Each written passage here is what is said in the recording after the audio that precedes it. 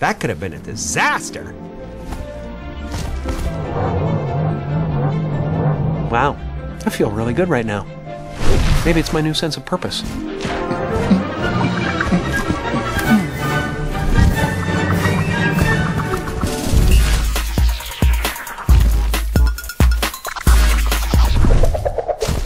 Whoa.